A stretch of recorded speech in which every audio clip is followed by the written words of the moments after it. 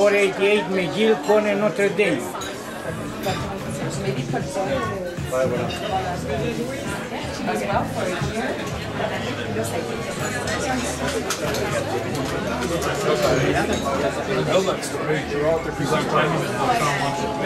Just a, a few questions. No problem, go ahead. Yeah. She likes it, eh? Oh, yeah, she does. There's Katia. Oh. Hi. How are you? It's okay. It's okay. You're here. You're here. So we meet, oui.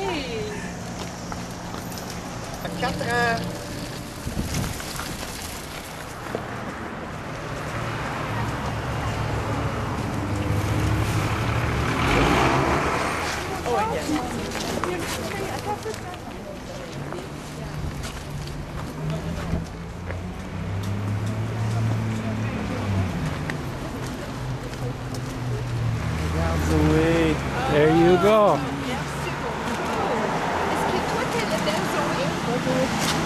Oui. Bienvenue à l'Hôtel du C'est pas toi. Toutes les personnes qui sont malades. Dis-moi.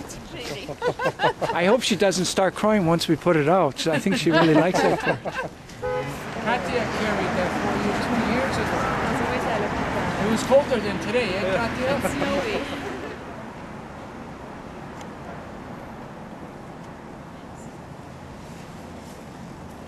Okay. I am uh, very, very proud to welcome you all to the City Hall, particularly with the child. It's a very touching moment to see. And when we contacted College Mount St. Louis, that's what these students, it, it was one of the coldest days in Montreal. We just finished. There was all these students waiting carrying the torch for Zoe. Can't let her.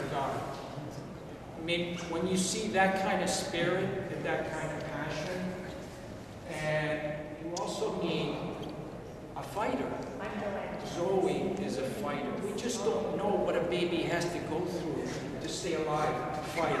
It's, it's a bigger fight than any of us can imagine. And she had the courage. And she's a fighter. I want to thank Joelle for doing a great job putting everything together. Okay. four-year-old heart transplant recipient. Today she had the honor of carrying the torch of life to Montreal City Hall. There's a ba. For us, Marco. Well, she's wondering what everything is. You hear a few bang and so I'm gonna I'm gonna turn to Catherine for a second. Marco is holding Zoe in his lap and you're holding the torch. Tell us about tell us about this day. Uh, well, today, um, it start, all started two years ago when someone was carrying the torch while Zoe was waiting for her heart. And she, the torch visited her at the hospital. And uh, she had her heart a few months after. It was her day of carrying the torch to uh, City Hall. And I'm looking at the torch and it's just about as big as she is. so how, how how did you manage? Well, I, I kind of uh, helped her uh, a little. I was carrying Zoe, and uh, Zoe was carrying the torch to uh, to carry it. But it uh, it went just great. Splendidly well. Yes. And it kept you warm. Oh yes, it did. She was asking. ok. Wow. On est encore créative. C'est à la maison de grand-papa. On continue, salut mon gros. Isn't that nice?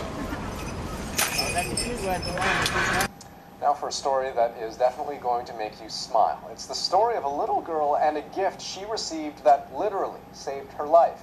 Now she wants to inspire others. The CBC's Joanne Vrakis met Zoe Bernard today. Hey, ça va bien aujourd'hui, Zoé? She's doing just good, just fine, yes. A little shy today. Oh yeah, she is. Today was a big one for this little girl.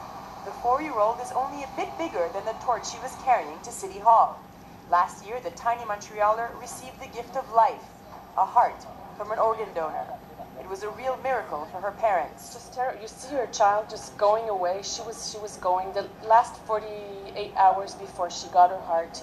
She we didn't know if she was make, going to make it, and uh, it was a miracle that she had her heart at that moment. Zoe's heart came to her in part through the hard work of the group SOS the Americas.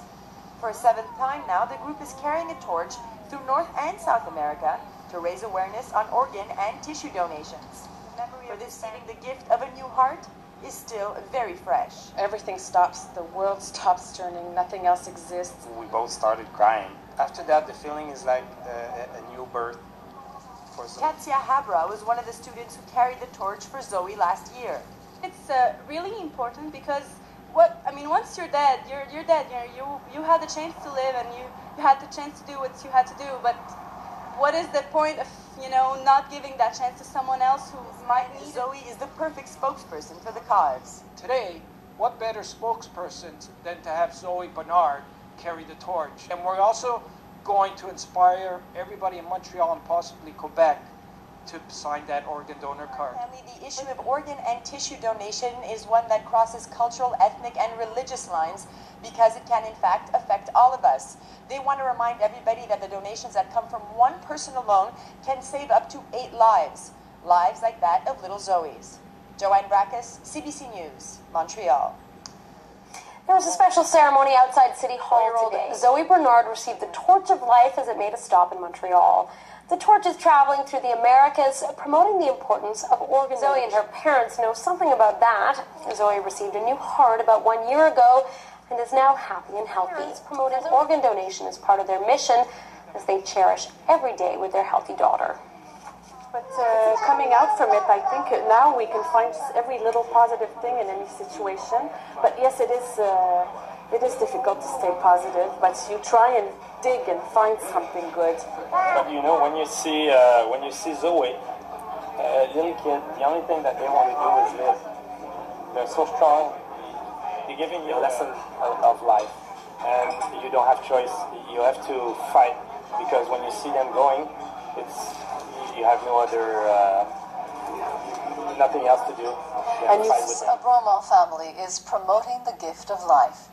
Two years ago, four-year-old Zoe Bernard was on a waiting list for a new heart. Well, now her family is appealing to the public to make a simple gesture to save a life. This is what Zoe's parents used to dream of carefree moments with a healthy daughter. She's having her second chance now, and she's happy. At two months, she was showing signs of illness. At two years, she was waiting for a new heart. Like every morning, you wake up and the nightmare is still there. Uh, you know, you don't know what the day is going to be, and every moment you wish someone tells you, "The heart is here. We have a heart." The heart finally came in April of 2008 from a young donor in Philadelphia. Today, four year old Zoe is well enough to take part in the Step by Step campaign, a torch relay across North and South America to raise awareness about organ The student joined the relay after hearing about Zoe. I felt proud to know that she was she was all right in the end, and I'm really happy to meet her today. Zoe is one of the lucky ones. More than 4,000 Canadians are still waiting, counting on others to sign their donor This has to be the, the most important plea to our country is because there's organs going to waste every day. Hundreds of organs are going to waste every day. We have to reach people with this.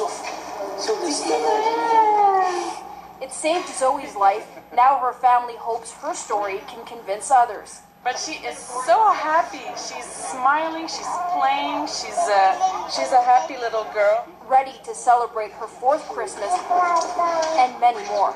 Annie DeMelt, CTV News.